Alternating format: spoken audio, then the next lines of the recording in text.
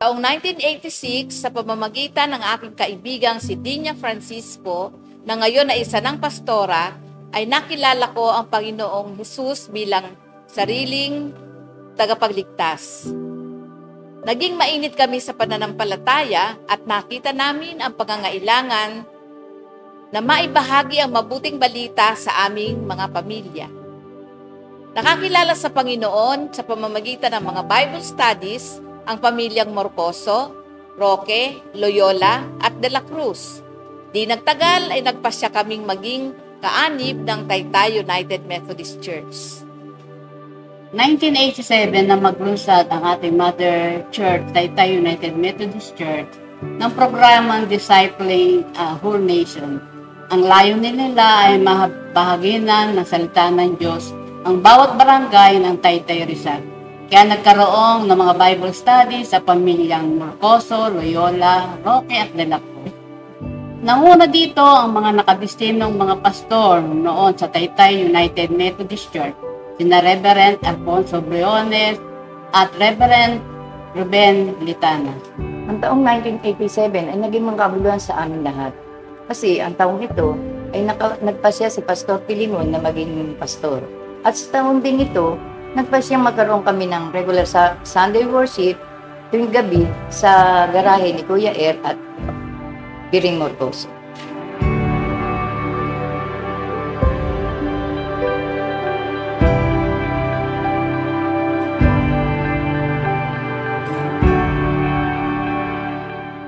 si Pastor Del Palma at ang inyong lingkod, ang mga naunang manggagawa na itinalaga ng nagkakaisang Iglesia Metodista sa Taytay para sa mga gawain sa Buenmar Christian Fellowship.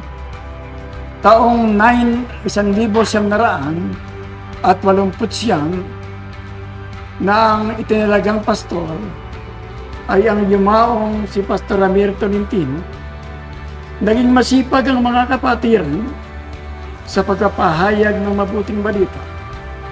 Kung kaya't nagkaroon kami ng mga krusada sa Dupax 1, 2, 3, 4 at sa iba pang bahagi ng Buen Marat today.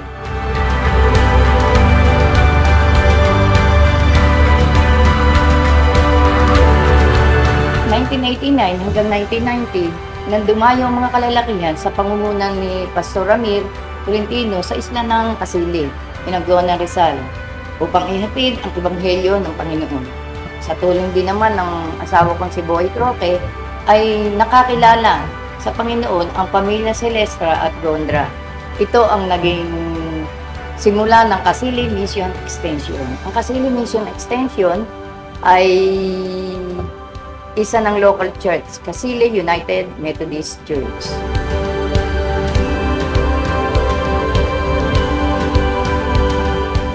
Buwan ng Mayo nang kilalaning ang Benmar Christian Fellowship na Amazing Grace United Methodist Church at tinanggap sa annual conference sa pangunguna ni Pastor Cirilo Casiguran. Bago matapos ang 1990, dinilig ng Diyos ang panalangin ng mga kapatiran. Nagkaloob si Ginang Nelly Valerio ng lupa na may sukat na 390 square meter sa Permina Compound. November 17, 1995, nang formal na ipagkaloob ng magkakapatid na Isgera ang bakanting lote na katabi ng Amazing Grace. Ito ay pinag, ipinagkaloob upang maging bahagi ng itinatayong paaralan at palalaki iglesia ng Panginoon.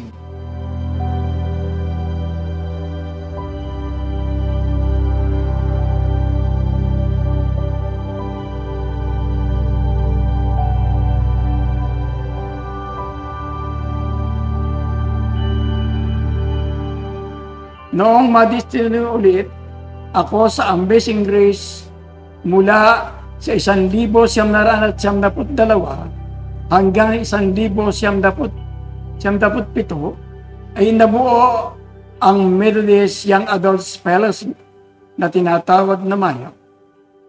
Naitayo ang Casa Pastoral. Napasimulan din ang gawain sa Barangay Dalig, Cardona, Rizal at pagkalipas ng dalawang taon, ang gawain sa Cardona ay pinagkatiwala sa Cardona Bethel United Methodist Church.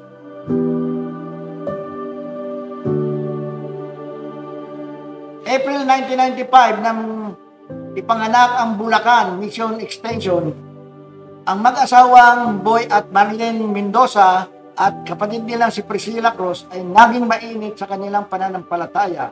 Nagpasya silang dalhin sa Bulacan ang Ebanghelyo ng Diyos.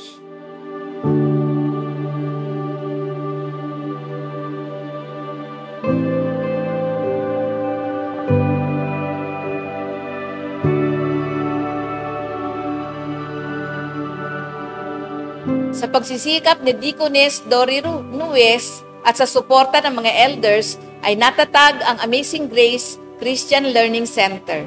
Sa pamamagitan ng donasyon ng mga kapatid na Ernie at Wiring Morposo na ipatayo ang school at ito ay pinasinayaan ni D.S. Toribio Kahiwat, Reverend Filimon de la Cruz at Reverend Manny Jose noong May 31, 1997. Natatag din ang kinder board na binuo ng piling kapatiran. Sina Teacher Lolit De Leon at Teacher Louis Francisco ang unang naging guro at tatlumpo ang naging unang mag-aaral.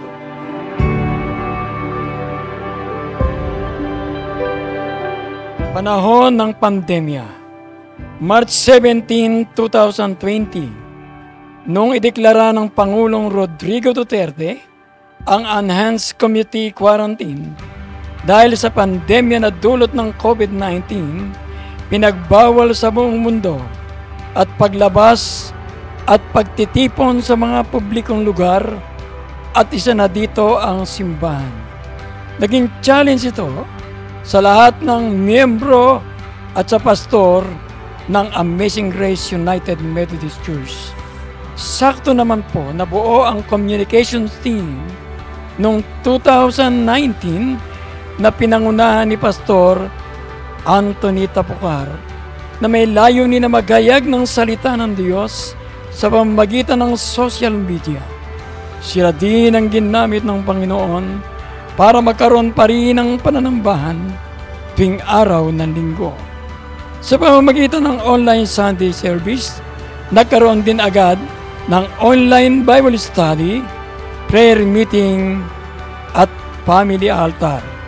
At dahil sa nakita ng communications team ang pangangailangan sa kanilang ministeryo ng panahon ng pandemya, sila ay naging masipag sa paglalaan ng oras para makabuo ng isang online worship tuwing linggo.